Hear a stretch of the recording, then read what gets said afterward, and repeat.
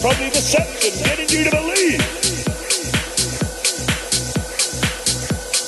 It's projecting, self-justifying, excusing, accusing, denying.